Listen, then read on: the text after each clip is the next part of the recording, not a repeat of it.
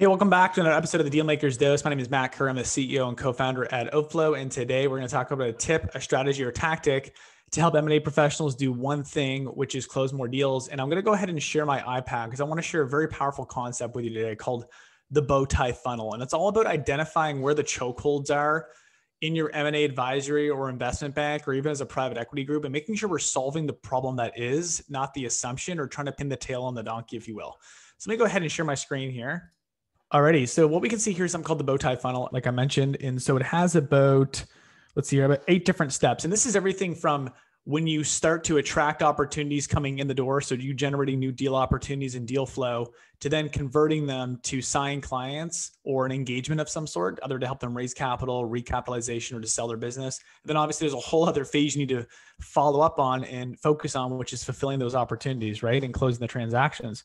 So let me just open up this first piece here. So we got this first phase here, which is all about this is you acquiring. So this is acquisition. Okay.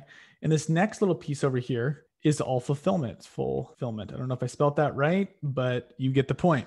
So we got the first phase, which is all about you acquiring new opportunities and actually get them, getting them as signed clients or signed deals that you can then take to market and sell as an intermediary, right? What we have here in this first little phase I mean, let me walk you through each one step by step and then kind of walk you through where the bottlenecks pop up. The first phase is awareness, right? This first little piece here. And actually, let me color these in as I'm going.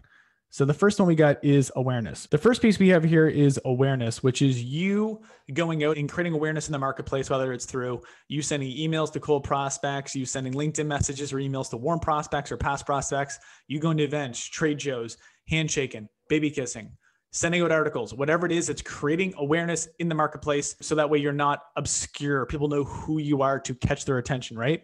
The next phase that we have here is something called attracting, which is you stimulating interest to prospects for them to create availability to have a conversation with you.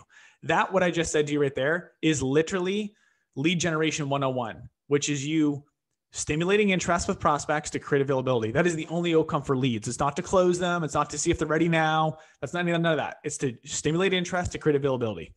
The next phase is after you have an opportunity and you create availability with that prospect and you start having dialogues, you want to move to this next phase, which is converting them. Converting does not mean signing them. Converting them means you're starting to have a process and a trans a transition point where you're sending over proposals. They're reviewing them it's kind of like that that dialogue of where you're now actually starting to hit that inflection point where you're trying to work out a deal for them to actually sign with you as an intermediary or as a broker right?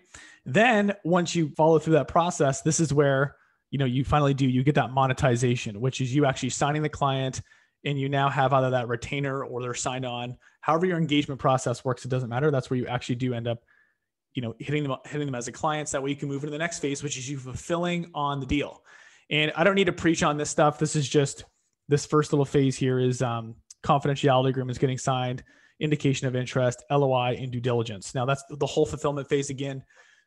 You already understand that fully. I don't need to walk through that at all. And I don't have any business walking you through that because that's what you're an expert at. So what I want to walk you through though is this is a big issue I see with either our clients or clients that come to us is they're solving the problem that actually isn't they're solving the problem that isn't. What I mean by that specifically is they might already have worked with another company or have their own system, or maybe they're working with us now and want to stop working with us because they have all these leads coming in, right? We have all these leads and opportunities coming in, and everything's working, but there's a chokehold. Some kind of chokehold pops up.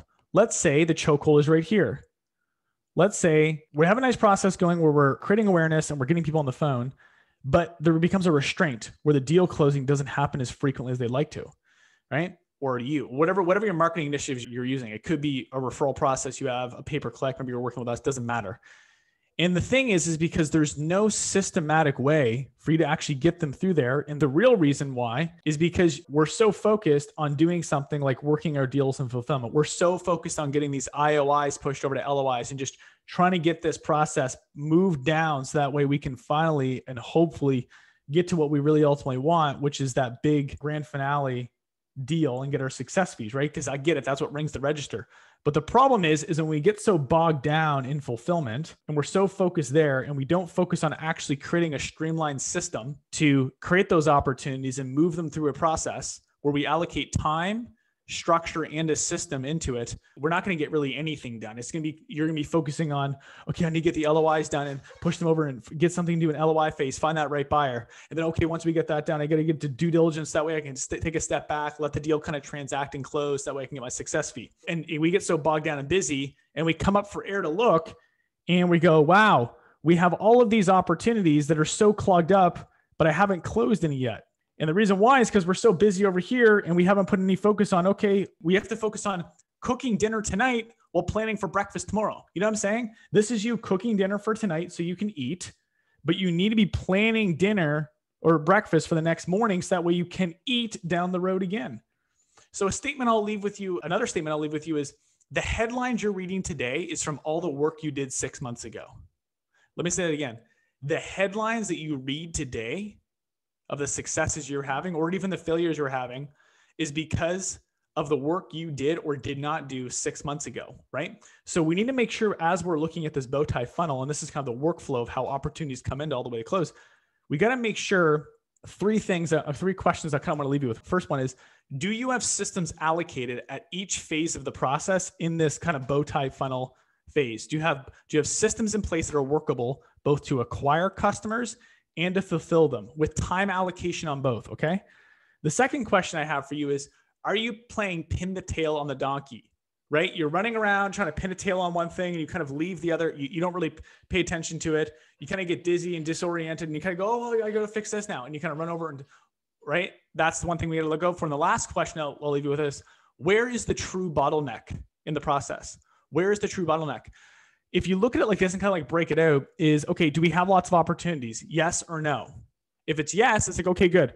Are we doing a good job at getting them on the phone? And then do we have a process then at converting them and getting them into a dialogue where, where there's a transition point of us sending out proposals? There, there's a feedback loop going back and forth where we're trying to work out what the structure of the deal looks like for me to represent them. Okay, good. What is our closing rate from that? You know what I'm saying? And then looking at the rest of your fulfillment process as well, identifying what is the true bottleneck and where do we actually need to be working versus versus a guessing game or oh, I need to put this thing on hold because I need to focus on this. If something's working, you don't want to put it on hold. You don't want to stop it. You don't want to ignore it, whatever it is. So if you worked with another company or you were doing another initiative or you're working with us, don't put things on hold. Don't stop things. Don't wait and see.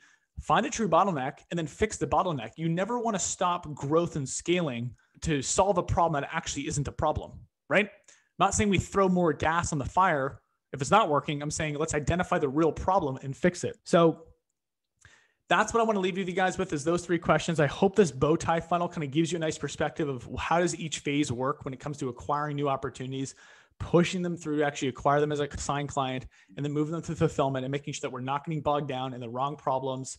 And so that way we can ultimately do one thing, which is close more transactions. Hopefully, this is helpful. Reach out to us if you have any questions. and I'll look forward to your feedback. Thanks. Have an awesome rest of your week. Bye.